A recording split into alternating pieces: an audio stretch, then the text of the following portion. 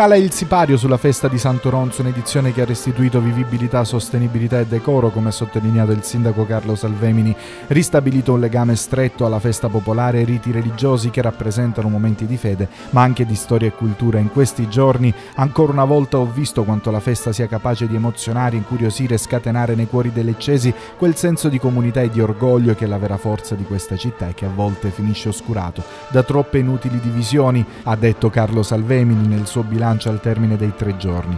Non si sono verificati incidenti né sono stati segnalati casi di offesa al decoro e alla pulizia. Ogni sera le vie della festa sono state percorse da decine di migliaia di persone, più di 30.000 hanno raggiunto il centro usando i mezzi pubblici e le navette. Il traffico automobilistico non è mai stato caotico, l'offerta di mostre, musica, spettacoli teatrali è stata varia, diffusa e apprezzatissima. I fuochi di mezzanotte hanno segnato la chiusura dei festeggiamenti in onore di Santo Ronzo attrezzatissimi per vedere i fuochi. A, a che ora siete arrivati? Alle 10? Sì, sì. Avete mangiato qui? Sì, sì, sì. Cosa vi siete portati di buono? Panini. Vi siete sistemate per bene per i fuochi? Sì. Dalle 9 che siamo qua. Cosa avete fatto dalle 9 adesso? Abbiamo mangiato un po' di pizza, di calzoni. I pistacchi vuole assaggiare? La vedo col formaggio. si continua a fare la dieta.